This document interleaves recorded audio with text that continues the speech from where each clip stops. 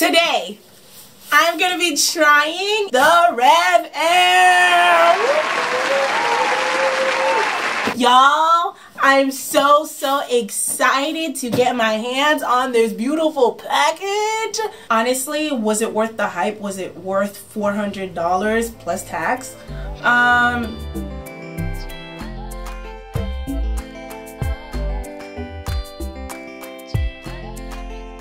Hey there, beauty. What's up? Welcome or welcome back to my hair channel. How you doing? How you living, girl?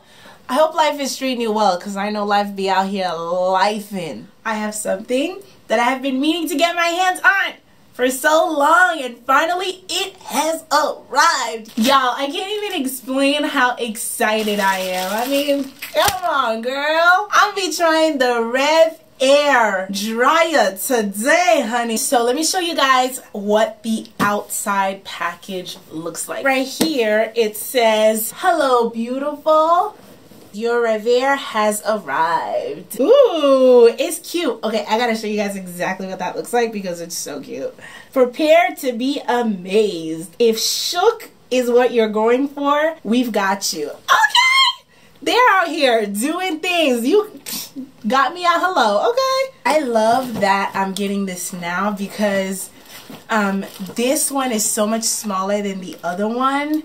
Um, so I'm really excited. I mean, I've been waiting to get this for a long, long time. And I'm so glad I waited because this is so small. Like I can literally travel with this, which is amazing. And from the reviews of the first one, it seems to be like super, super, super big. And this is the perfect size. I mean, look at it in comparison to my head. Super small. Before I go into this, which type of friend are you? Are you the friend that reads the instructions or are you the friend that throws this in the trash? I want to know. I'm one that like skims through the instructions. I don't throw it in the trash. I don't like thoroughly read it, but I skim through you know so we've got the attaching hose we've got the attaching wand there's a bonus hand rest somewhere that i haven't seen yet but i'm sure i'm gonna find it and then here is the RevAir machine. It comes in this mesh thing, which is really cool because it's like great for protection. Especially if you are somebody that likes to travel with things and go do hair and stuff. Is this supposed to be in it? Probably. I'll look at the instructions. The attaching hose, I believe, is going to go in here. Pretty self-explanatory, I believe, on how you put this together. Yep, pretty self-explanatory. That's in. We're gonna connect the attaching wand. Okay, boom, done. So y'all, I just wanna know if this thing is supposed to be in here or if I'm supposed to take it out. I feel like I'm supposed to leave it in. I don't think so. I feel like I should take it out because why would you leave that in? I'm gonna leave it on. My hair is already super well detangled. I washed it and I did a hair mask. I left it in for some time and I deep conditioned so my hair is super detangled. Um, not too, it's not dry, but it's not damp either. So now I'm going to add some heat protected spray. So now I'm going to turn this on.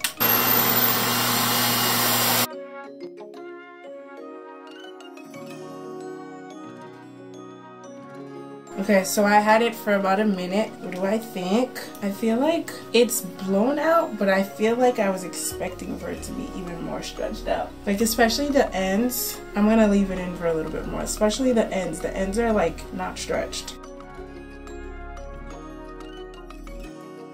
Well, let's keep going. I am done with one side and it's been 28 minutes. So now I'm gonna go do this side and I'll be back.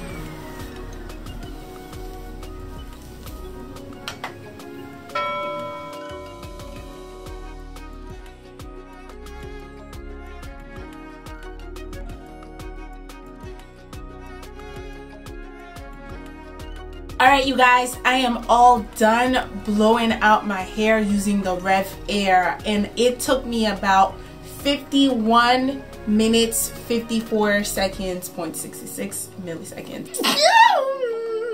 Thank you.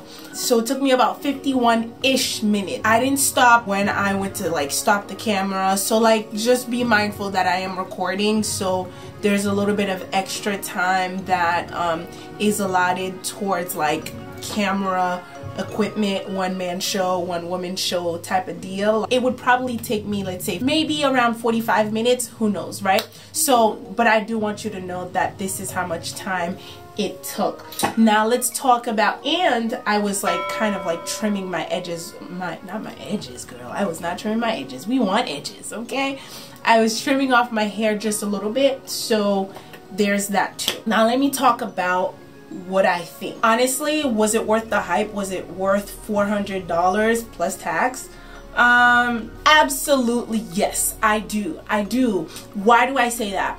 One, it cut down my time sitting in a chair doing my hair. Instead of spending an hour and a half towards two hours you know, for blowing out my hair, I only spent about 51 minutes. So that was super, super efficient. Number two, um, there's not a lot of manipulating of my hair. My hair just goes inside the nozzle and then once it's done stretching it, I pull it out and then I'm done. Number three, um, you know like when you're blowing blow drying your hair the heat can be too much on your scalp a little bit. The heat wasn't a lot for this. Um, I did notice that the front of my hair like it felt hotter up front and that's probably because the front of my hair is a little bit more sensitive.